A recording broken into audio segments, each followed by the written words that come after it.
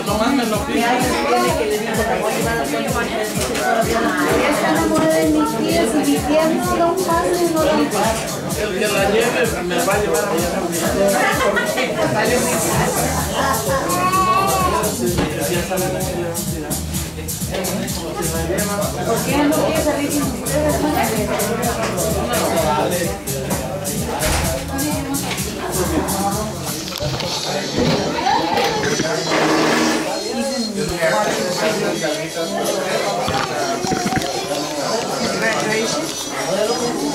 don't know why nobody never ever thought about it.